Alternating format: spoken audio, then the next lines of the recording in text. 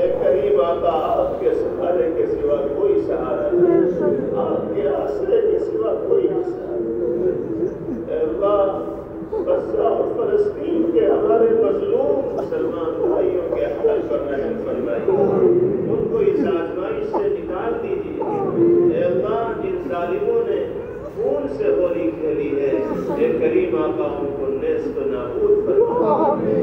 ان کے ناپاک وجود سے سرزمین کو پاک کر دیجیے اے اللہ ظالموں کو عبرت کا نشان بنا دیجیے اے اللہ ظالموں کو عبرت کا نشان بنا دیجیے اے اللہ آپ قادر مطلق ہیں۔ آپ کی طاقت کے مقابلے میں دنیا جہاں کی طاقت کوئی حیثیت نہیں رکھتی۔